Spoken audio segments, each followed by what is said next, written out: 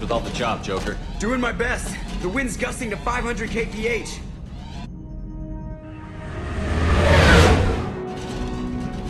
There's a second ship alongside the Reaper.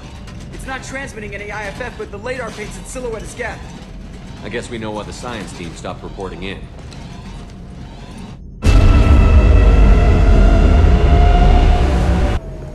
What just happened?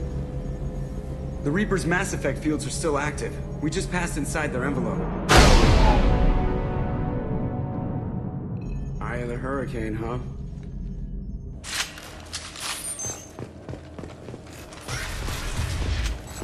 There are too many shadows in here.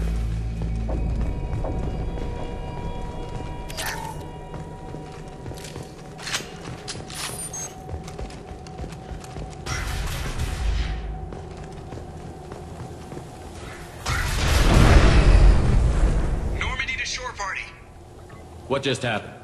The Reaper put up kinetic barriers. I don't think we can get through from our side. Trapped inside a Reaper. Could be worse.